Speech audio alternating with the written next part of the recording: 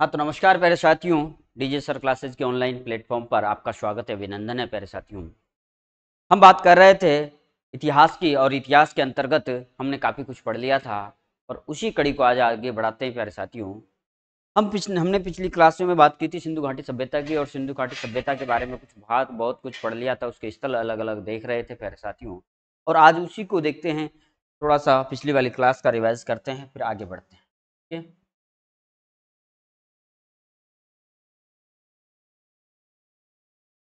यहाँ से हमने बात की थी कल, पिछली क्लास में हमने बात की थी, किसकी बात की थी? भाई कालीबंगा सभ्यता, और कालीबंगा सभ्यता भी एक स्थल माना जाता है, किसका? एक साइट मानी जाती है किसका? और यह सिंधु घाटी सभ्यता का। देखिए, बात करते हैं यहाँ पर कालीबंगा कालीबंगा की खोज किसने किसने की थी? इसके लोकेशन क्या है? ये सारी चीज़ों के बारे में हम जानकारी प्राप्त कर चुके थे। देखिए, राजस्थान के हनुमानगढ़ ज़िले में स्थित है। कहाँ पर स्थित है भाई राजस्थान के हनुमानगढ़ ज़िले में स्थित है घग्गर नदी के किनारे। कौन सी? घग्गर नदी के किनारे एक सभ्यता विकसित होती है, जिसे हम किसके नाम से जानते हैं भाई? जिस, जिसे हम जानते हैं, कौन सी सभ्यता के नाम से? कालीबंगा सभ्यता के नाम से जानते हैं। कालीबंगा का शब्द का अर्थ होता है पंजाबी भाषा का या सिंधी भाषा का शब्द है। इस शब्द का अर्थ होता है काली चूड़िया क्या होता है भाई? काली चूड़िया इसकी खोज अमलानंद घोष ने उन्नीस सौ बावन में की थी। इसका उत्खनन का कार्य बीबीलाल बी के थापर के द्वारा करवाया गया और ये कब करवाया गया? 1961 में करवाया गया। और बात करें, पहले दोस्तों दो व्यक्ति और मिलते हैं यहाँ पर उन्नीस में और इनके द्वारा एम डी खरे और जगपति जोशी, इनके द्वारा भी इसका उत्खनन करवाया गया था। ये इसके सहयोगी थे या साथी माने जाते हैं? चलिए नेक्स्ट बात करें। तो किस प्रकार से हमने देखा था ये सर्वप्रथम इस स्थल की जानकारी देने वाले एलपी टेसेटरी कौन प्यारे साथियों? एलपी टेसेटरी को इसका सर्वप्रथम जानकारी देने वाले माने जाते हैं ये ताम्र कांसी विभिन्न सभ्यता कहलाती है इसके उपनामों की बात करें ये दीन दीनहीनों की बस्ती कहा, कहा जाता है साक्षर सभ्यता कहा जाता है इसे और क्या कहा जाता है बहुधान्य कारक कहा जाता है हड़प्पा की तीसरी राजधानी कहा जाता है क्या कहा जाता है भाई तीसरी राजधानी हड़प्पा सभ्यता की तीसरी राजधानी कहा जाता है क्या कहा जाता है ये तीसरी राजधानी कहा जाता है या सिंधु घाटी सभ्यता की तीसरी राजधानी कहा जाता है इसे नगरी सभ्यता भी कहा जाता है नेक्स्ट बात करें और क्या? यहाँ से नगर की जानकारी मिलती है। नगर हमें दो भागों में बटा हुआ था। यहाँ का नगर कितने भागों में बटा हुआ था? वही दो भागों में, एक तो पश्चिमी टीला, एक पूर्वी टीला। पश्चिमी टीला पर सम्रांत वर्ग या प्रशासनिक वर्ग और पूर्वी टीला पर सामान्य वर्ग या सामान्य जनता निवास किया करती थी। और बात करें तो यहाँ पर नगर नियोजन किस प्रकार से है, किस प्रकार से घग्गर नदी के किनारे नगर नियोजन बसा हुआ है, इसकी सारी जानकारी हमने प्राप्त कर ली थी। किस प्रकार से नगर नियोजन किया गया है तीस सड़कें बनी हुई है बीड पद्धति, ऑक्सफोर्ड पद्धति, जाल पद्धति के आधार पर इसकी सड़कें बनी हुई, इसकी सड़कें, इसके जो दरवाजे हैं, घरों के दरवाजे, वो गली में खुलते थे, इसे मुख्य सड़क की ओर न खुलकर ये गली में खुलते थे, इनके शमशान होते हैं, वो दक्षिण दिशा में होते थे, यहाँ पर दफनाने का कार्य किया जाता था। मुर्दों को क्या किया जाता था? यहाँ पर दफनाया जाता था। और देखें तो यहाँ पर आयताकार, गोलाकार, वर्गाकार ये और युग्म समाधि ये कब्रें मिली यहाँ से। और देखिए, यहाँ से हल्के साक्ष्य हल्की लाइनों के साक्ष्य मिले, कृषि के दो और गेहूँ कपास के साक्ष्य मिले, जुते हुए खेतों के साक्ष्य मिले, प्रकोटे के बाहर अर्थात ये सभ्यता ऐसी है जिसमें प्रकोटे की जानकारी हमें प्राप्त होती है।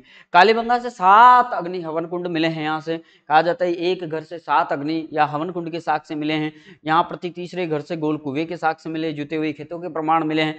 नाचते हुए मरण पक्षी की मरण मूर्ति मिली है। ऊँट की जानकारी हमें देता है। लाल मृदभांड मिले हैं जिस पर सफ़ेद और काले रंग से क्या किया गया है? भाई, चित्रांकन किया गया है। और बात करें यहाँ पे जो मकान थे, वो कच्ची ईटों के बने हुए थे। मकान किसके? कच्चे ईटों के बने हुए थे।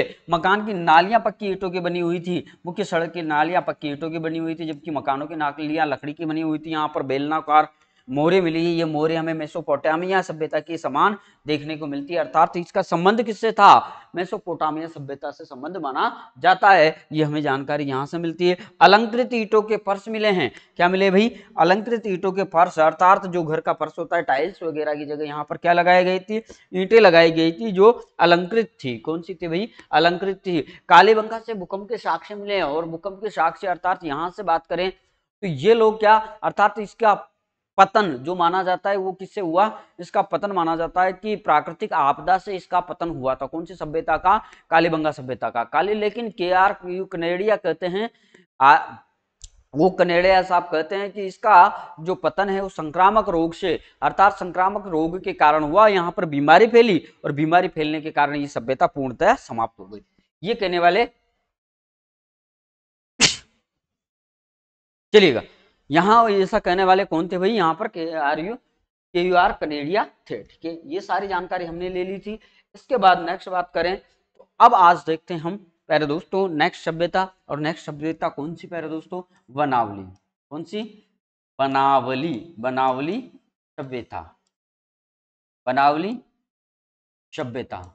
ये भी एक स्थल माना जाता है, ये भी एक सभ्यता मानी जाती है, ये भी एक मुख्य स्थल माना जाता है बनावली सभ्यता। बनावली सभ्यता के बारे में बात करें तो बनावली सभ्यता की जो है, ये खोज की जाती है। प्यारे दोस्तों, ये रविंद्र सिंह विष्ट के द्वारा की जाती है। किसके द्वारा? इसकी खोज की बात करें। किसकी बात करें भाई? इसकी खोज की बात करें तो ये रविंद्र सिंह विष्ट के द्वारा की जाती है। की खोज की खोज की जाती है रविंद्र सिंह रविंद्र सिंह विष्ट के द्वारा, रविंद्र सिंह विष्ट के द्वारा की जाती है। किसके द्वारा की जाती है भाई? रविंद्र सिंह विष्ट के द्वारा इसकी खोज कर दी जाती है। कौन सी सभ्यता की, बनावली सभ्यता की खोज की कर दी जाती है? ये फतेहाबाद। कहाँ पर? फतेहाबाद। कहाँ पर प्यारे दोस्तों? हरियाणा में स्थित है। कहाँ पर है ये? यहाँ लिख देता हूँ। हरियाणा। कहाँ पर है ये? इस स्थल कहाँ पर है? हरियाणा। हरियाणा और हरियाणा का कौन सा स्थल है? फतेहाबाद। कौन सा? फतेहाबाद। फतेहाबाद हरियाणा में ये साइट स्थित है। कौन सी साइट है भाई?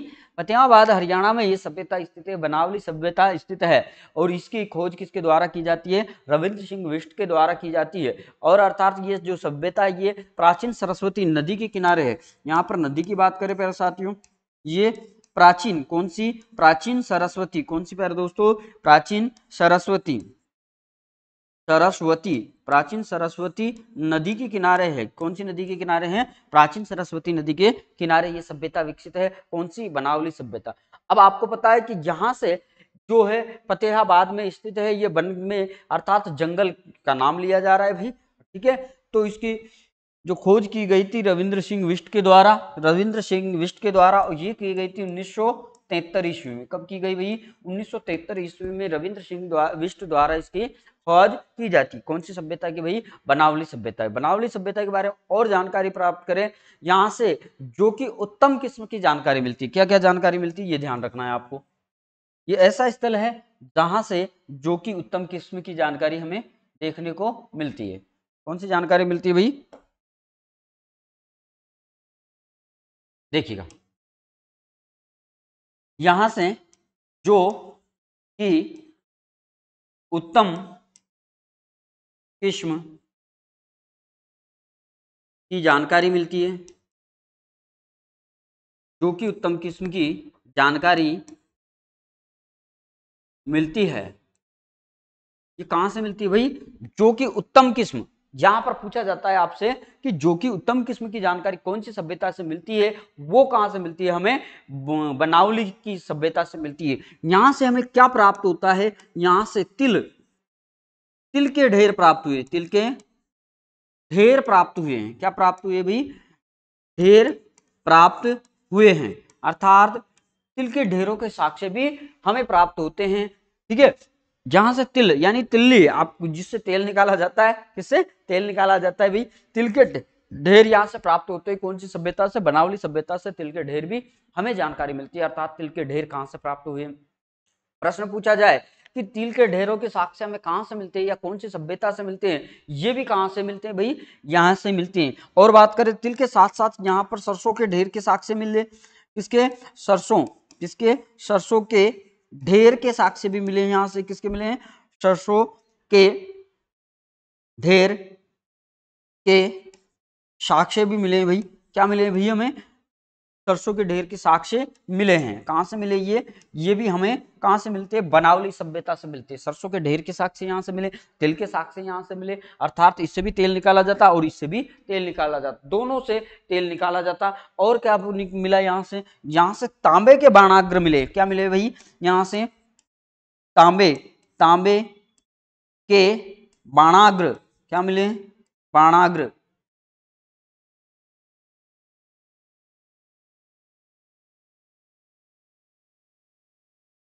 तांबे के? यहाँ से तांबे के? बाणा, बाणाग्र मिले हैं। यानी कि जो तीर है, तीर का जो तीर है, धनुष बाण हुआ करता था, उसका ये वाला हिस्सा। कौन सा वाला भाई? ये आगे वाला हिस्सा, ये यहाँ से हमें प्राप्त होता है। कहाँ से प्राप्त होता है? ये वाला हिस्सा जो है, ये बाणाग्र। ये वाला हिस्सा, कौन सा वाला हिस्सा? ये तीर का आगे वाला हिस्सा। ये वाला है हिस्सा हमें प्राप्त होता है, तीर का बाणाग्र, अर्थात तांबे के बाणाग्र, इसी किससे बने हुए थे? ताना तांबे के बाणाग्र प्राप्त हुए हैं। प्राप्त हुए हैं। कहाँ से प्राप्त हुए भाई? ये भी हमें वनावली सभ्यता से देखने को मिलते हैं। तो ये सारी जानकारियाँ हमें कहाँ से मिलती है भाई? ये भी यहीं से मिलती है। मिट्टी के बर्तन मिले हैं, मिट्टी के मृद भांड मिले हैं। क्या मिले हैं यहाँ से? मिट्टी के मृद भांड मिले हैं। यही लिख देता हूँ मैं। तो नेक्स्ट स्लाइड मिट्टी के मृद भांड भी यहीं से मिले हैं। क्या मिले भाई? मिट्टी मिट्टी के मृद भांड। क्या मिले भाई? मिट्टी के मृद भांड भी यहाँ से प्राप्त होते हैं। मिट्टी के मृद भांड भी हमें कहाँ से सब, कौन सी सभ्यता से प्राप्त होते हैं? अर्थात मृद भांड। या मृदभांड भी यहाँ से प्राप्त हुए हैं। मिट्टी के मृदभांड कहे या मृदभांड ही कह दे मिट्टी का मतलब मृदभांड का मतलब भी मिट्टी के बर्तन होते हैं या मिट्टी के बर्तन, ठीक है? मिट्टी के बर्तन मिले यहाँ से, ये लो, ठीक है? बर्तन प्राप्त हुए या बर्तनों के साक्ष्य प्राप्त हुए हैं, ठीक है? ये जानकारी हमें कौन सी सभ्यता देती है भाई? बनावली सभ्यता से ये सारी जानकारी हमें प्राप्त होती है। और बात करें तो यहाँ से मर्ण मूर्ति के साक्ष्य मिले हैं मातृ देवी। यहाँ से क्या? मातृ देवी मातृ देवी के, मातृ देवी की मृण मूर्ति मृण मूर्ति प्राप्त हुई है। हुई है। मातृ देवी की मृण मूर्ति हमें कहाँ से प्राप्त होती है भाई? ये भी यहाँ से बनावली सभ्यता से प्राप्त होती है। ये सारी चीज़ें हमें कहाँ से प्राप्त होती है भाई? यहाँ से प्राप्त होती है बनावली सभ्यता। से लेकिन कहा जाता है कि यहाँ से नाली के साक्ष्य नहीं मिले हैं भाई। ये ध्यान रखना है आपको। यहाँ से नाली के साक्ष्य हमें प्राप्त नहीं होते। ये ज़रूर ध्यान रखना है। नाली के साक्ष्य में इस सभ्यता प्राप्त नहीं होते हैं। ठीक है? क्या क्या साक्ष्य मिले हैं? देखिएगा। यहाँ से हमें मिट्टी के मृद भांड प्राप्त हुए हैं, मिट्टी के बर्तन प्राप्त हुए यहाँ से या मातृ देवी की मरण मूर्ति प्राप्त हुई है। कौन सी सभ्यता से भाई? बनावली सभ्यता से। कौन सी सभ्यता से भाई? बनावली सभ्यता से। और देखिएगा, बनावली सभ्यता कहाँ से विकसित हुई है? हरियाणा हरियाणा के फतेहाबाद से मिलती है और इसकी जो खोज की गई थी ये आर एस यानी आर रविंद्र चंद्र रविंद्र चंद्र विष्ट के द्वारा की गई थी रविंद्र चंद्र विष्ट के द्वारा इसकी खोज की गई थी और कब की गई थी? 1973 में की गई थी। कब की गई भाई 1973 में इसकी खोज की गई। प्राचीन सरस्वती के किनारे के नदी के किनारे विकसित हुई है, जो कि उत्तम किस्म के साक्ष्य मिले, तिल के ढेर मिले, सरसों के ढेर मिले, तांबा तांबा के बाणाग्र। क्या मिले हमें? तांबा के बाणाग्र मिले। बाणाग्र यानी बाण का आगे वाला भाग, ये वाला भाग। तांबे का आगे वाला भाग है ये। ये जो है, इसको हम बाणाग्र कहते हैं। इसको बाणाग्र हमें यहीं से प्राप्त होते और बात करें, यहाँ मिट्टी के मृद भांड मिले हैं, यानी कि मृद भांड भी हमें इस सभ्यता से जानकारी प्राप्त होती है। और बात करें तो यहीं से हमें किसकी जानकारी मिलती है? मातृ देवी की मृण मूर्ति की प्राप्त होती है। कौन सी होती है भाई? मातृ देवी की मृण मूर्ति प्राप्त होती है। तो बनावली सभ्यता आपको समझ में आ गई है? इसके बाद बात करें तो यहाँ पर दूसरी सभ्यता की हम बात करने जा रहे हैं, प्यारे दोस्तों, और दूसरी सभ्यता कौन सी है? सुरकोटड़ा कौन सा प्यारे दोस्तों? सुरकोटड़ा सभ्यता की बात करना नेक्स्ट सभ्यता जो लेते हैं हम सुरकोटड़ा कौन सी? सुर कोटड़ा। कौन सी सभ्यता भाई? सुरकोटड़ा सभ्यता। कौन सी? सुरकोटड़ा सभ्यता या सुरकोटड़ा स्थल की बात करते हैं। कौन सी सभ्यता का? ये सिंधु घाटी सभ्यता का एक स्थल माना जाता है सुरकोटड़ा स्थल। ठीक है? सुरकोटड़ा जो स्थल है, प्यारे दोस्तों, ये इसके जानकारी हम प्राप्त करने जा रहे हैं। किसकी? सुरकोटड़ा स्थल की प्राप्त, जानकारी हम प्राप्त करने जा रहे हैं। देखिए सर सबसे पहले इसकी बात करते इसकी बात करें तो सूर्य कोटला जो स्थल माना जाता है, ये किस प्रकार का स्थल माना जाता है? अर्थात इसकी खोज जो की गई थी, वो जगपति जोशी द्वारा की गई थी। किसके द्वारा? सबसे पहले यहाँ पर बात करने जा रहे हैं। इसकी खोज की। इसकी खोज जो की गई भाई, इसकी खोज की गई जगपति जगपति जोशी के द्वारा की गई। किसके द्वारा?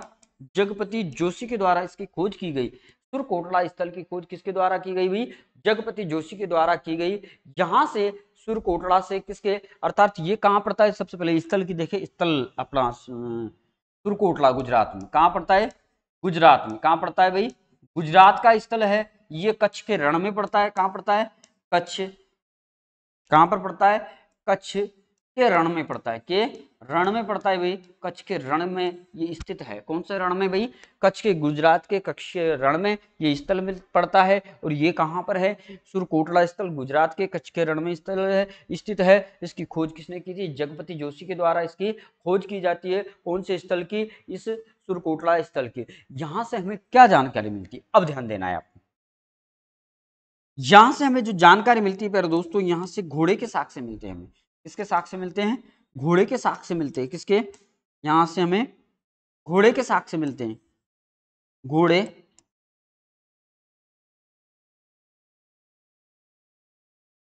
घोड़े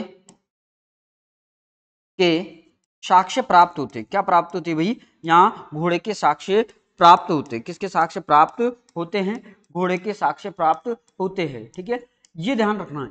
हमें घोड़े के प्रथम साक्ष्य प्राप्त होते इस स्थल से। और देखिएगा, घोड़े के साक्ष्य सुरकोटला से मिले हैं। और ये ऐसा स्थल है, सुरकोटला से घोड़े के साक्ष्य मिले हैं। और एक ये ऐसा स्थल है जिसमें कहा जाता है कि यहाँ पर सिंधु घाटी सभ्यता के पतन के साक्ष्य भी मिले किसके? यहाँ पर सिंधु घाटी साक्ष्य, पतन या विनाश के साक्ष्य भी मिले हैं। किसके? सिंधु सभ्यता के। यहाँ से हमें क्या मिला है? सिंधु सिंधु सभ्यता सभ्यता के पतन या विनाश विनाश के साक्ष्य प्राप्त हुए हैं। साक्ष्य प्राप्त हुए हैं, ठीक है? साक्ष्य प्राप्त हुए हैं। ये जानकारी हमें कौन सी स्थल से मिलती है? भाई, सिंधु घाटी सभ्यता के पतन या विनाश के साक्ष्य हमें कहाँ से मिलती है भाई? सुरकोटड़ा से मिलती है। सुरकोटड़ा कहाँ पर पड़ता है? आप गुजरात की एक साइट मानी जाती है गुजरात का एक स्थल माने जाते हैं, ठीक है? और देखिएगा पैर दोस्तों, यहाँ से घोड़े की अस्थियाँ मिली है, घोड़े के साक्ष्य मिले हैं। किसके साक्ष्य मिले हैं? घोड़े की अस्थियाँ। और घोड़े के साक्ष्य हमें प्राप्त होते हैं कौन सी सभ्यता से भाई? सुरकोटला सभ्यता से। यहाँ से तराजू के दो प्लेड़े मिले हैं। हैं? घोड़े की अस्थियाँ मिली यहाँ से। घोड़े घोड़े की अस्थियाँ मिली हमें। अस्थियाँ अस्थियाँ प्राप्त हुई है। ठीक है? यहाँ से और क्या मिला? तराजू के दो पलड़े मिले हैं। क्या मिले भाई?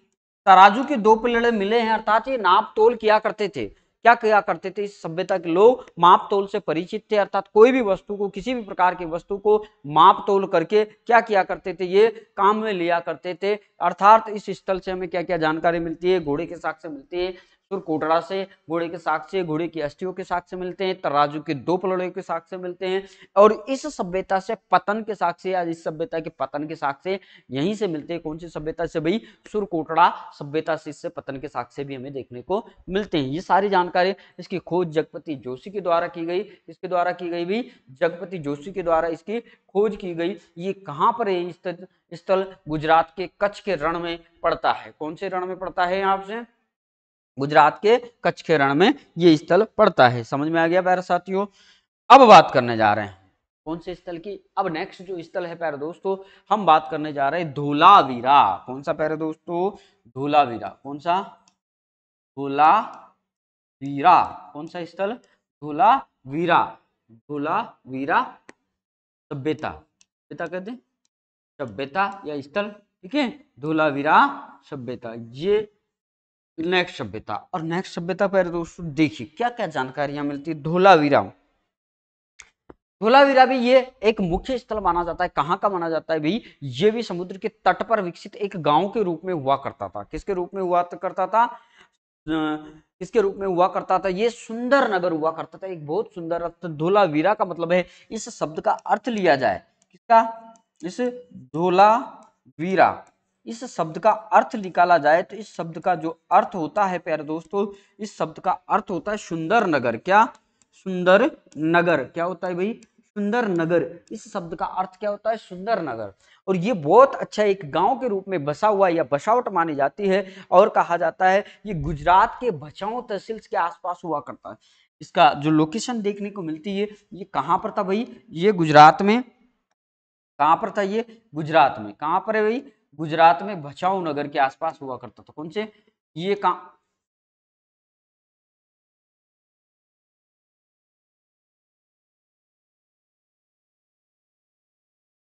ये स्थल कहाँ पर पड़ता था? ये गुजरात में। कहाँ पर? गुजरात में। और गुजरात के कौन सा स्थल? भचाऊ। भचाऊ तहसील गुजरात के भचाऊ। भचाऊ तहसील में पड़ता था गुजरात के। भचाऊ तहसील में पड़ता था। ये कहाँ पर पड़ता है भाई? गुजरात की भचाऊ तहसील में ये स्थल पड़ता था और कहा जाता है कि वर्ष 2001 में, कब प्यारे दोस्तों? वर्ष 2001 में, कब? 2001 में। 2001 में यहाँ पर क्या आता है प्यारे दोस्तों? एक प्राकृतिक आपदा के कारण, बाढ़ आ जाने के कारण ये पूरा का पूरा स्थल खत्म हो जाता है। क्या हो जाता है भाई? पूरा का पूरा स्थल खत्म हो जाता है और ये खोजा गया जो स्थल है, ये जगपति जोशी द्वारा खोजा गया स्थल पूरी तरह से ये कब खत्म हो जाता है भाई? वर्ष 2001 में। बाढ़ आ जाने के कारण या भूकंप आ जाने के कारण 2001 में 2001 में भूकंप कौन? भूकंप आ जाने के कारण, आ जाने के कारण या फिर बाढ़ आ जाने के कारण? कारण यह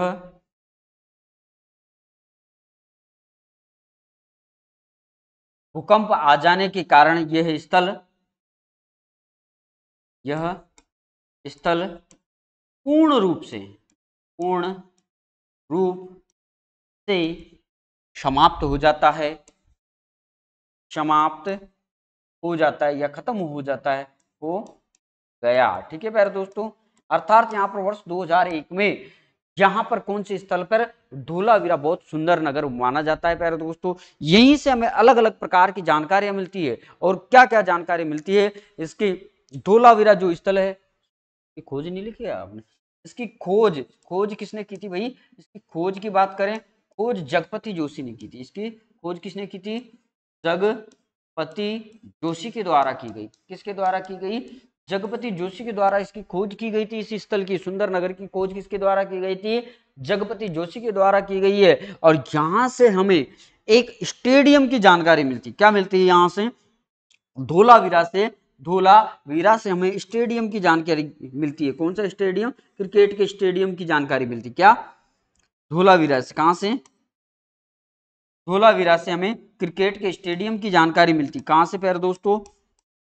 धोला वीरा और धोलावीरा से हमें क्रिकेट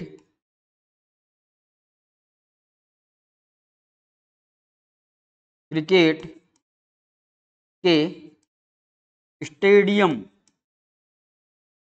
क्रिकेट के स्टेडियम की जानकारी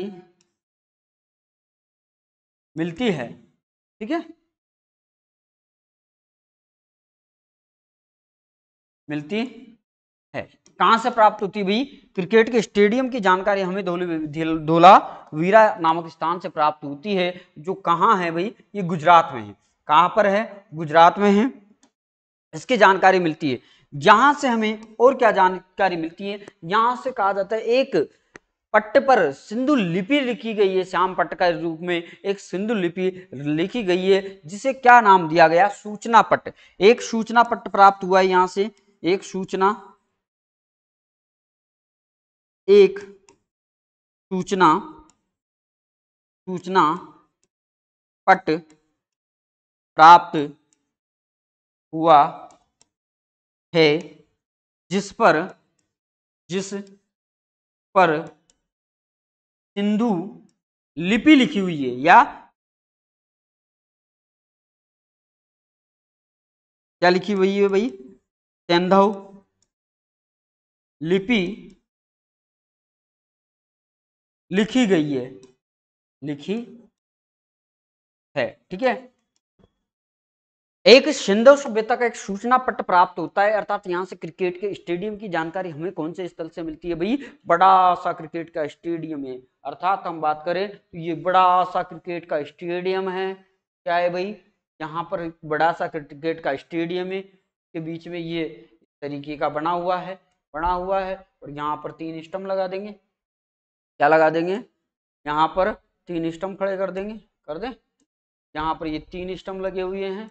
और इधर भी हमें तीन स्टम्प खड़े कर देंगे। ये तीन स्टम्प इधर, तीन स्टम्प इधर और इसी स्टेडियम के पास क्या प्राप्त हुआ है? हमें एक सूचना पट प्राप्त हुआ है। क्या प्राप्त हुआ है भाई? एक सूचना पट प्राप्त हुआ है यहाँ पर।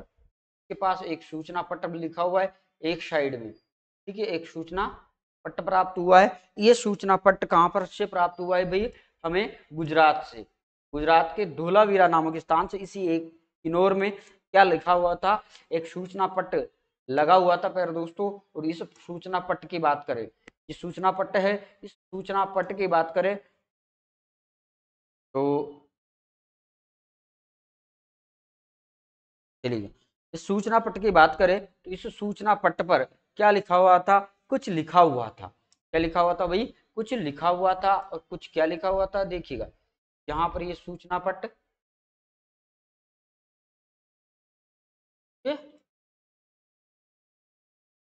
दो डंडे ये सूचना पट इस तरीके का बना हुआ था यहाँ। और लग जा रहे भाई। ये लो। सूचना पट लगा हुआ है और इस सूचना पट पे ये जो है, यहाँ पर सूचना पट क्या है? लगा हुआ था। इस सूचना पट पर बात करें, यहाँ सूचना पट पर क्या कुछ लिखा हुआ था पहले दोस्तों। क्या लिखा हुआ था? ये तो अभी तक हमें भी पता नहीं चल पाया कि क्या लिखा हुआ है। किसी को पता नहीं है क्या लिखा हुआ है। सूचना पट पर कि कोई किसी को अभी तक पता नहीं चल पाया है। ये इस प्रकार का सूचना पत्र लिखा हुआ था, जिस पर क्या लिखी हुई थी? इस पर सेंधव लिपि। किसका प्रयोग किया गया है भाई? इस पर क्या लिखा हुआ था? सेंधव लिपि। क्या लिखा हुआ था इस पर? सेंधव लिपि लिखी गई थी। क्या लिखी हुई थी भाई? सेंधव लिपि लिखी गई थी। सेंधव सेंधव लिपि। क्या लिखी गई थी यहाँ पर? सेंधव लिपि लिखी हुई है, ठीक है? सेंधव लिपि लिखी थी। इस स्थल से सेंदव लिपि लिखी थी, अर्थात कुछ न कुछ। ये क्या है आपका? सूचना पट। क्या है भाई? ये क्या है? और ये हमें कहाँ से प्राप्त होता है? सूचना पट हमें कहाँ से प्राप्त होता है? ये है आपका सूचना पट। कौन सा है? सूचना पट। और ये हमें कहाँ से जानकारी मिलती है? ये हमें जानकारी मिलती है धोलावीरा से। कौन से? धोलावीरा से। ये पूरा तो हो जाएगा आपका स्टेडियम। क्या? स्टेडियम। स्टेडियम। अर्थात उस समय भी कोई ना कोई गेम खेलते होंगे। तो क्रिकेट के समान था ये। इस कारण हमें क्या कह दिया? क्रिकेट के समान हुआ करता था। इस कारण हमें क्रिकेट स्टेडियम, क्रिकेट के समान था ये। इस कारण हमें क्या कहते हैं, इसको क्रिकेट स्टेडियम कहते हैं, ठीक है? क्रिकेट के समान हुआ करता था ये, ठीक है? तो ये सूचना पट था और ये सूचना पट कहाँ पर लगा हुआ था ये धोलावीरा में लगा हुआ था भाई। ये सूचना पट की जानकारी मिलती है, पूरे क्रिकेट के स्टेडियम की जानकारी मिलती है और इधर दर्शकों को देखने के लिए यहाँ पर कुर्सियाँ वुर्सियाँ लगी होगी भाई। ये जानकारी हमें कहाँ से मिलती है? ये हमें जानकारी मिलती है, कौन से स्थान से भाई? ये हमें मिलती है धोलावीरा नामक स्थान से हमें इसकी जानकारी मिलती है। ठीक है? तो क्या देखा अपन ने? इसकी खोज जन धोलावीरा की खोज किसके द्वारा, जगपति जोशी के द्वारा? ये एक सुंदर नगर था बचाव तहसील में कहाँ पर? गुजरात के बचाव तहसील में पड़ता है। इसके, इसका अंतिम संस्कार अंतिम संस्कार की बात क्या? ये ये खत्म हो चुका है। यानी कि समुद्र तट के पास स्थित होने के कारण पर दोस्तों, ये धोला यानी कि सफ़ेद, यहाँ से कुछ ऐसे पत्थर प्राप्त हुए हैं जो सफ़ेद रंग के थे। इस कारण इसका नाम धोला यानी सफ़ेद ही होता है पैरा दोस्त। क्या होता है? सफ़ेद होता है। सफ़ेद रंग के पत्थर प्राप्त हुए यहाँ से। इस कारण स्थल का नाम ही धोलावीरा रख दिया गया। यहाँ पर भूकंप आ जाने के कारण ये कब खत्म हो गया? 2001 में ये स्थल खत्म हो चुका है, पूरा समाप्त हो चुका है और धोलावीरा से क्रिकेट के स्टेडियम की जानकारी मिलती है, सूचना पट्ट की जानकारी मिलती है। ये मुख्य रूप से ये दोनों जानकारियाँ हमें कहाँ से प्राप्त होती है भाई? ये धोलावीरा नामक स्थान से प्राप्त होती है। चलिएगा, और बात कर लेते हैं। यहाँ से क्या जानकारी मिलती है? तो उत्खनन आर एस विष्ट ने करवाया था, किसने करवाया था? ये थोड़ी सी ध्यान रख लेना। हाँ या नहीं लिखा? हाँ हाँ उत्खनन की बात करें तो आर एस विष्ट, यहाँ पर उत्खनन। उत्खनन की जानकारी प्राप्त होती है वो आर एस विष्ट या फिर क्या कहें आर एस विष्ट ने? आर एस विष्ट ने इसका उत्खनन करवाया था, ठीक है? आर एस विष्ट के द्वारा इसका उत्खनन करवाया जाता है, ये ध्यान रख लेना। अब एक और सबसे महत्वपूर्ण जो जानकारी प्यारे दोस्तों, यहाँ पर भी नगर था। क्या था? नगर था और नगर की जानकारी हमें प्राप्त होती है। कहाँ से प्राप्त होती है भाई? इस धोलावीरा से। कहाँ से प्राप्त होती है? धोलावीरा से। कहाँ से? धोलावीरा से। और ये धोलावीरा में जो सबसे महत्वपूर्ण जानकारी क्या है, वो जानकारी ये है कि यहाँ का नगर, कौन, कहाँ का नगर? यहाँ का एकमात्र ये स्थल था। चलिए आगे लेते हैं। पे ठीक है? ये एकमात्र स्थल था कौन सा? धोलावीरा। किसकी बात कर रहे हैं भाई? धोलावीरा। धोलावीरा की बात करें, कौन सा स्थल? धोलावीरा। और धोलावीरा एकमात्र स्थल था भाई, जहाँ से हमें नगर, तीन भागों में, जो नगर नियोजन था यहाँ का, क्या प्यारे दोस्तों? नगर नियोजन। यहाँ का नगर नियोजन, धोलावीरा का नगर नियोजन।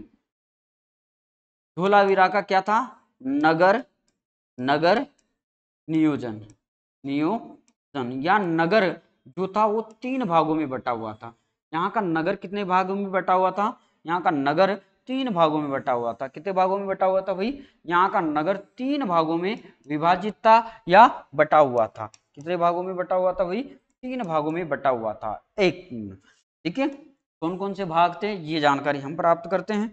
ये एकमात्र स्थल है। सिंधु घाटी सभ्यता का ये एकमात्र स्थल माना जाता है, जहाँ का नगर तीन भागों में बटा हुआ था। कौन कौन सा? एक तो दुर्ग टीला, कौन सा? एक तो दुर्ग टीला, कौन सा टीला? दुर्ग टीला। और दूसरी बात करें, मध्यमा टीला मध्यमा टीला। कौन सा? मध्यमा टीला। एक तो दुर्ग टीला, एक मध्यमा टीला और एक था पूर्वी टीला या नगर टीला जिसे कहते थे। क्या कहते थे हम? इसे नगर टीला। क्या कहते थे वही नगर टीला। अब बात करें तो यहाँ पर, इस पर प्यारे दोस्तों, किसकी बात करें? जो पूर्वी टीला था, या बात करें, यहाँ पर जो, ये दुर्ग टीला था, यहाँ पर रहा करता था प्रशासनिक वर्ग। यहाँ पर निवास कौन करता था? प्रशासनिक प्रशासनिक वर्ग निवास करता था। वर्ग निवास करता था। क्या करता था? निवास करता था। निवास करता था। कौन निवास करता था भैया? प्रशासनिक वर्ग? निवास करता था यहाँ पर। बात करें दूसरे टीले में यहाँ पर व्यापारिक वर्ग। कौन सा? व्यापारिक वर्ग निवास करता था। कौन सा वर्ग निवास करता था? व्यापारिक वर्ग निवास करता था। क्या?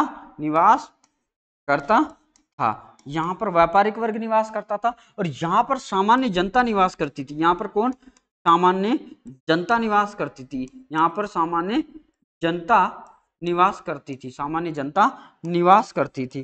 कौन से निवास करते थे यहाँ पर, ठीक है? यहाँ पर सामान्य जनता निवास किया करती थी। अर्थात इस तरीके से सिंधु घाटी सभ्यता का एकमात्र स्थल था, जो तीन भागों में इसका नगर बटा हुआ था।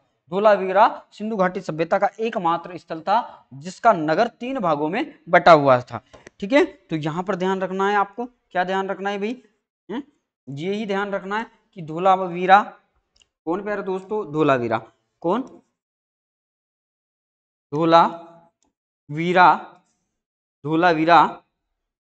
हिंदू सभ्यता का हिंदू सभ्यता का एकमात्र हिंदू सभ्यता का एक मात्र स्थल स्थल था जो जिसके, जिसका नगर तीन भागों में बटा हुआ था। कितने भागों में भाई?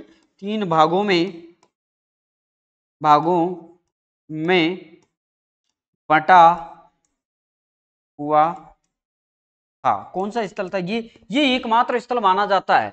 कौन सा? धोलावीरा एकमात्र स्थल माना जाता है सिंधु घाटी सभ्यता का, जिसका नगर नियोजन तीन भागों में विभाजित हुआ करता था। मूल नगर नियोजन कौन कौन से हैं?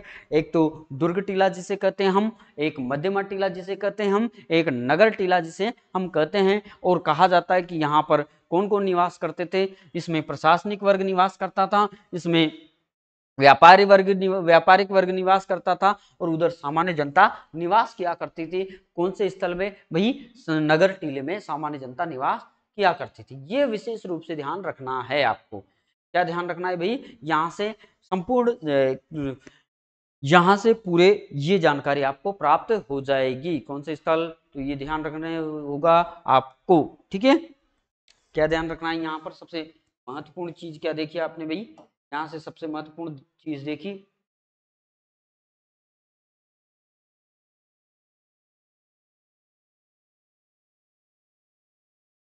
देखिए धोलावीरा, और धोलावीरा की बात करें तो गुजरात में, भचाऊ नगर में ही भचाऊ के पास स्थित है। खोज जगपति जोशी ने की थी। किसने की थी भाई? जगपति जोशी ने इसका उत्खनन जो करवाया था, आर एस विष्ट के द्वारा करवाया गया। किसके द्वारा? आर एस विष्ट के द्वारा करवाया गया। और यहाँ से हमें और क्या जानकारी? भूकंप के द्वारा ये खत्म हो गया, प्यारे दोस्तों। ये इसकी लोकेशन क्या है? सुंदर, इसका अर्थ क्या होता है? धोलावीरा का सुंदर नगर होता है। धोलावीरा से हमें क्रिकेट के स्टेडियम की जानकारी मिलती है। प्रथम सूचना सूचना पट्ट की जानकारी हमें मिलती है, जिस पर सेंधव लिपि लिखी गई थी। क्या लिखी गई भाई? सेंधव लिपि लिखी गई थी, मैंने बना करके बताया। ये इस प्रकार से सूचना पट्ट लगा हुआ था, जिस पर सेंधव लिपि लिखी हुई थी भाई। ये क्रिकेट का स्टेडियम है, इस प्रकार का स्टेडियम प्राप्त हुआ है। उस जमाने में क्रिकेट नहीं खेलते थे, लेकिन क्रिकेट के समान एक स्टेडियम बना हुआ था तो उसे हम क्या कहेंगे भाई? उसे हम क्रिकेट स्टेडियम कह सकते हैं। यहाँ पर ये खेलने वाले भी रहे होंगे, ठीक है? इधर खेलने वाला, एक इधर से भाग रहा है, इधर से भाग रहा है, वो जानकारी हमें नहीं मिलती, लेकिन एक प्रकार का स्टेडियम की जानकारी मिलती है। किसकी जानकारी मिलती है? यहाँ से भाई हमें स्टेडियम की जानकारी हमें प्राप्त होती है। तो ये ध्यान रखना है प्यारे साथियों। मुख्य रूप से क्रिकेट खेलने की इच्छा आपके दिल में हमेशा रखते होंगे आप और खेलते भी होंगे। आशा करते हैं कि बढ़िया लग रहा होगा आपको क्रिकेट का नाम लेकर। और थोड़ा सा ध्यान दें, भाई यहाँ से जो जो जानकारियाँ प्राप्त हो रही है उसको शेयर कीजिए प्यारे दोस्तों। लाइक कीजिए चैनल पर अगर नए हो तो सब्सक्राइब भी कीजिए और जहाँ तक हो सके ज़्यादा से ज़्यादा शेयर करने का प्रयास कीजिए प्यारे दोस्तों, जहाँ तक लगे कि आपको ये क्लासेस समझ में आ रही है और लग रहा है कि हम इन क्लासों के माध्यम से बहुत ज़्यादा फ़ायदा उठा सकते हैं। तो जुड़े रहिए डीजे सर क्लासेस के साथ और कहा जाता है कि यहाँ पर अलग अलग प्रकार के सभी सब्जेक्टों के जो अलग अलग अच्छे अच्छे या व्याख्याताओं द्वारा व्याख्यान किया जा रहा है या पढ़ाया जा रहा है, प्यारे दोस्तों तो उनका आप लाभ ले सकते हैं, बहुत अच्छे से लाभ ले सकते हैं और आपकी सफलता की इबारत एक अच्छे ढंग से लिख सकते हैं। और अच्छे ढंग से लिखने के लिए आपको निशुल्क बैच मिला मिल रहा है और इसी प्रकार से आपको प्राप्त है, प्यारे दोस्तों, ये क्लासें, जिसमें आप अपने जीवन के भागीदार तो बनेंगे सही, जिसके सहयोगी आप हमारे द्वारा हम आपके नैया को पार करने में थोड़ा सा सहयोग कर सकते हैं, लेकिन ज़्यादा तो नहीं। लेकिन ईश्वर चाहे कि आपको बहुत जल्दी सफलता मिले तो उसके लिए थोड़ा सा जुड़े रहिए तो बढ़, पढ़ते रहिए। और देखिएगा, क्या जानकारी मिलती है देखिएगा। सबसे पहले कहा जाता है कि ये तीन भागों में बटा हुआ था। जुड़े रहिए प्यारे दोस्तों, कहाँ तक पहुँच गई? तो ये धोला वगैरह का नगर नियोजन है, नगर तीन भागों में बटा हुआ था। इन भागों में बट, कितने भागों में बटा हुआ था? नगर तीन भागों में बटा हुआ था। तो ये कौन कौन सा है? कौन कौन से स्थल की जानकारी मिलती?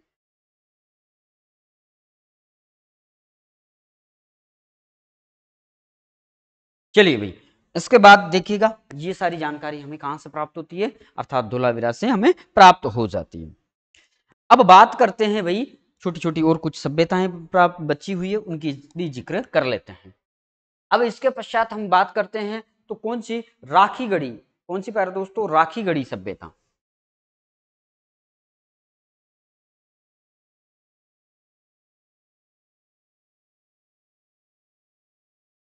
राखी गढ़ी राखी गढ़ी एक स्थल है, ये भी एक सभ्यता है।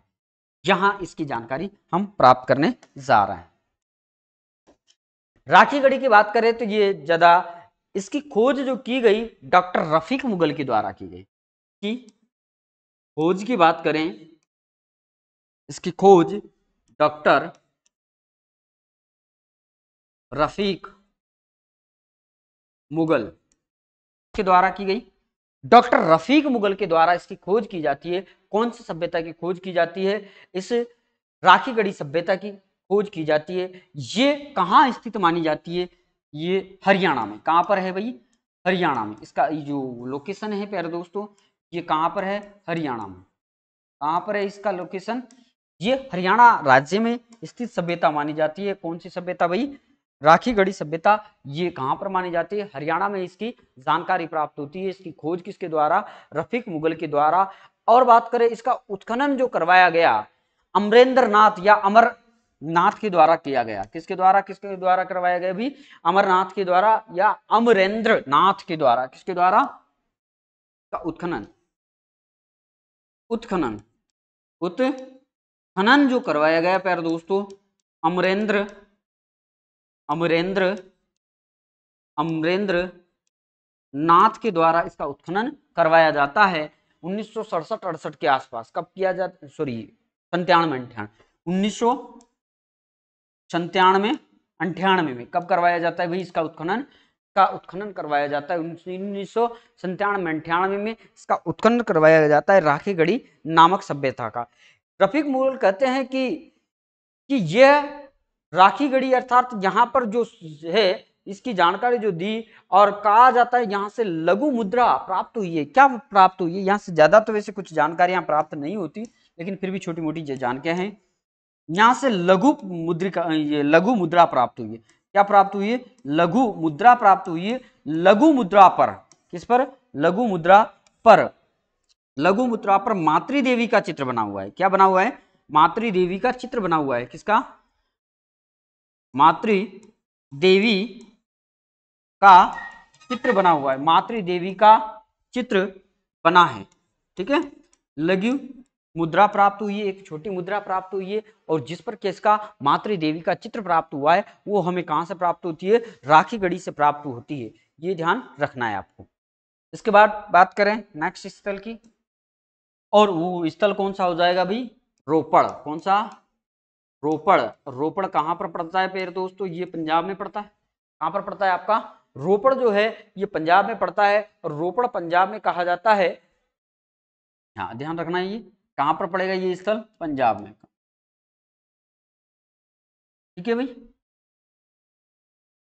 रोपड़ कहाँ पर पड़ेगा? पंजाब में। कहाँ पर है ये? रोपड़ जो है, आपका पंजाब में पड़ेगा। पंजाब में। अब इससे भी कोई विशेष जानकारी है तो प्राप्त नहीं होती, लेकिन स्वतंत्रता के बाद खोजा गया, ये प्रथम स्थल माना जाता है। कौन सा स्थल माना जाता है? स्वतंत्रता के बाद खोजा गया, ये प्रथम स्थल माना जाता है। और इसी की बात करें तो बीबी लाल के द्वारा इसकी खोज की गई थी कब? 1950 में। कब की गई थी? इसकी खोज की बात करें। चलिएगा भाई, खोज की बात कर लेते हैं। 1950 में। कब प्यारे दोस्तों? 1950 में ब्रजवासी लाल द्वारा। किसके द्वारा? ब्रजवासी लाल द्वारा। ब्रजवासी लाल द्वारा इसकी खोज की गई थी, ठीक है? या इसी को कहते हैं अपन बीबी लाल क्या कह देते हैं? बीबी लाल क्या कह देते हैं? भाई बीबी लाल भी इसको कहकर संबोधित करते हैं। ब्रजवासी लाल के द्वारा इसकी खोज की गई, ये भारत की स्वतंत्रता है। यानी कि स्वतंत्र भारत में, स्वतंत्र भारत स्वतंत्र भारत में खोजा गया। स्वतंत्र भारत में खोजा गया, प्रथम स्थल माना जाता है। प्रथम स्थल था। यानी कि जब भारत स्वतंत्र हुआ तो ज़्यादातर स्थल कहाँ चले गए थे भाई? पाकिस्तान में चले गए थे, क्योंकि ये सभ्यता, जो सिंधु घाटी सभ्यता है, या सिंधु सभ्यता है, वो किधर विकसित हुई है? ये पाकिस्तान की तरफ़ ही विकसित हुई है, पाकिस्तान वाले एरिया में, क्योंकि पहले पूरा का पूरा एरिया अपना ही था, और अभी भी अपना ही कहते हैं, अपना तो है ना, अपना ही कहते हैं ना तो कहा जाता है कि ये जो सारी है, इसकी साइट है, ज़्यादातर कहाँ चले गई थी भाई? उधर चली गई थी तो कहा जाता है कि ये स्वतंत्र भारत में खोजा गया प्रथम स्थल माना जाता है और इसके जो उत्खनन का कार्य करवाया गया, उत्खनन का कार्य ये भी देख लेना एक बार। उत्खनन का कार्य जो करवाया जाता है, वो यज्ञदत्त शर्मा के द्वारा कब करवाया जाता है भी? यज्ञदत्त शर्मा के द्वारा उन्नीस सौ पचपन में करवाया जाता है। कब करवाया जाता है? उत्खनन का कार्य। किसकी बात करें भाई? उत्खनन। उत्खनन। और उत्खनन जो करवाया गया, प्यार दोस्तों, ये यज्ञदत्त शर्मा के द्वारा। किसके द्वारा? यज्ञदत्त शर्मा के द्वारा यज्ञदत्त शर्मा के द्वारा करवाया गया 1955 में। कब करवाया गया? 1955 में यज्ञदत्त शर्मा के द्वारा इसका उत्खनन करवाया जाता है। कौन से स्थल का? रोपड़ का। रोपड़, ऐसा स्थल माना जाता है। ये प्रश्न कई बार पूछा जा चुका है कि स्वतंत्र भारत का खोजा गया। प्रथम स्थल कौन सा माना जाता है? भारत स्वतंत्र भारत की स्वतंत्रता के बाद खोजा गया। प्रथम स्थल कौन सा माना जाता है? तो रोपड़ पंजाब माना जाता है। कौन सा स्थल माना जाता है? भाई रोपड़ पंजाब वाला ये स्थल प्रथम स्थल माना जाता है, जो स्वतंत्रता के बाद या भारत की स्वतंत्रता के बाद खोजा गया प्रथम स्थल था। यहाँ से विशेषकर कोई जानकारी विशेषकर नहीं मिलती वैसे तो प्यारे दोस्तों क्या क्या जानकारी मिली है? मानव के साथ, कुत्ते के शवाधान मिले, ये ज़रूर ध्यान रख लेना। क्या मिले यहाँ से जानकारी? जानकारी जो मिलती है, मानव के साथ कुत्ते को दफनाने के दफनाने के साक्ष्य मिले हैं। साक्ष्य मिले हैं। अर्थात मानव के साथ कुत्ते को दफनाने के साक्ष्य, अर्थात कुत्ता वफादार जानवर होता है और वफादार जानवर कोई रहा होगा तो उसको किसके साथ दफना दिया गया? अपने मालिक के साथ ही दफना दिया गया। ठीक है? ये जो स्थल है, इससे ये किसकी जानकारी मिलती है? मानव के साथ कुत्ते के जानकारी कुत्ते के साथ मानव दफनाने की जानकारी मिलती है। नदी की बात करें तो ये सतलज नदी के तट पर है भाई। कौन सी? नदी की बात करें तो ये सतलज नदी के तट पर। कौन सी? सतलज नदी के तट पर है। कौन सी नदी के तट पर है ये? सतलज नदी के तट पर विकसित हुई है। ये रोपड़ सभ्यता है प्यार दोस्तों। कहाँ से? पंजाब से हमें जानकारी मिलती है। लगभग लगभग सभ्यताएँ यहाँ तक खत्म हो जाती है प्यार दोस्तों आपकी। कौन कौन सी सभ्यता है? ठीक है? ये तो सारी की सारी जानकारी हमें कहाँ से मिलती है? रोपड़ से मिलती है। एक बार पुनः इसको थोड़ा सा देख लेते, रिवाइज कर लेते। कहाँ से आज देखा था प्यार दोस्तों? तो ये सुरकोटड़ा के बाद हमने देखा था बनावली से। आज का जो ज़िक्र किया था हमने, बनावली सभ्यता बनावली सभ्यता कहाँ से प्राप्त होती है? हरियाणा के फतेहाबाद के निकट से प्राप्त होती है। रविचंद्र विष्णु द्वारा या रवि सिंह विष्णु द्वारा, रवि सिंह विष्ट के द्वारा इसका उत्खनन करवाया गया सॉरी खोज करवाया गया था, जो प्राचीन सरस्वती नदी के किनारे विकसित होती है, जो कि उत्तम किस्म के साक्ष्य मिलते हैं, तिल के साक्ष्य मिलते हैं। तिल का ढेर और सरसों का ढेर और तांबे के बाणाकर के साक्ष्य हमें यहाँ से प्राप्त होते हैं। और बात करें मिट्टी के या बर्तन मिले हैं। मिट्टी के बर्तन प्राप्त हुए, यहाँ से मात्र देवी की मृण मूर्ति प्राप्त हुई है इस सभ्यता से। और क्या जानकारी मिलती है? सूर्यकोटला सभ्यता प्राप्त होती है। सूर्य सूर्यकोटला सभ्यता कहाँ से? गुजरात के कच्छ के रण से प्राप्त होती है। खोज किसने की थी? जगपति जोशी ने घोड़े के साक्ष्य मिले, सिंधु सभ्यता के निवास, विनाश के साक्ष्य मिले या पतन के साक्ष्य हमें कहाँ से मिलते हैं? सूर्यकोटला से। ये इंपोर्टेंट लगा लेना प्यार दोस्तों। यहाँ से प्रश्न पूछा जाता है, क्या है? यहाँ से प्रश्न पूछा जाता है। इसलिए पतन के साक्ष्य हमें कहाँ से मिलते हैं? या सिंधु घाटी सभ्यता के पतन के साक्ष्य हमें कहाँ से मिलते हैं? ये सुरकोटला से मिलते हैं। घोड़े की अस्थियों की पूछा गया है और ये भी इंपोर्टेंट लगा लेना है आप, ठीक है? आगे बात करते हैं। तराजू के दो पलड़े यहाँ से प्राप्त होते हैं। तराजू के दो पलड़े यहाँ से प्राप्त होते हैं। धोलावीरा स्थल गुजरात का एक बहुत बड़ा स्थल माना जाता था, जो समुद्र तट पर विकसित हुआ था, प्यार दोस्तों। कहाँ पर? अरब सागर के तट पर विकसित हुआ था। लेकिन कहा जाता है कि ये एक गाँव के रूप में हुआ करता था। लेकिन वर्ष 2001 में यहाँ पर क्या आता है? भूकंप आता है या बाढ़ के टाइप का एक भूकंप आ जाता है। इस कारण ये क्या है? खत्म हो जाता है। इसकी खोज, इस ये कहाँ पर इसका अर्थ होता है सबसे पहले तो सुंदर नगर। इसकी खोज जगपति जोशी ने की उत्खनन आर एस विष्ट के द्वारा किया गया। धोलावीरा से हमें क्रिकेट के स्टेडियम की जानकारी मिलती है। यहाँ पर एक सूचना पट मिला है हमें। क्या मिला है भाई? एक सूचना पट मिला है, जिसे हमें जिस पर सेंधव लिपि लिखी हुई थी। क्या लिखी हुई थी? सेंधव लिखी हुई लिखी हुई थी। किस प्रकार से देखने को मिलता है? ये जानकारी हमें प्राप्त होती है। यहाँ से सबसे महत्वपूर्ण जानकारी है यहाँ से नगर तीन भागों में बटा हुआ था कौन? नगर। कितने भागों में बटा हुआ था? तीन भागों में। कितने भाग में? तीन भागों में बटा हुआ था। नगर कितने भागों में बटा हुआ था? तीन भागों में बटा हुआ था। कौन कौन से? दुर्ग टीला, मध्यमा टीला और नगर टीला। यह प्रशासनिक वर्ग, व्यापारिक वर्ग और सामान्य जनता निवास किया करती थी। ये सिंधु सभ्यता का एकमात्र स्थल माना जाता है। जहाँ पर औरों से तो दो दो जगह की जानकारी मिलती है। लेकिन यहाँ पर जो नगर था वो तीन भागों में बटा हुआ था। तो ये एकमात्र स्थल माना जाता है। राखीगढ़ी हरियाणा में प्राप्त हुआ है। राखीगढ़ी की खोज डॉक्टर रफीक मुगल ने की थी। उत्खनन अमरेंद्र नाथ ने कब करवाया? अमरेंद्र नाथ ने करवाया। कब किया? भाई उन्नीस सौ संतानवे अंठानवे में करवाया। यहाँ पर लघु मुद्रा से मातृ देवी का चित्र प्राप्त हुआ है।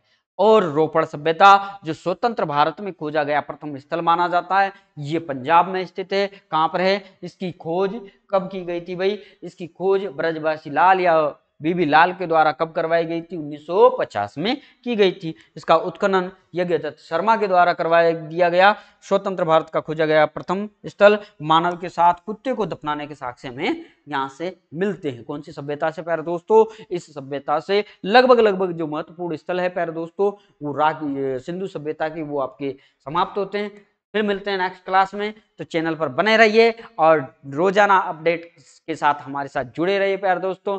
मिलते हैं next day next class next जुनून और नए जुनून के साथ मिलते हैं।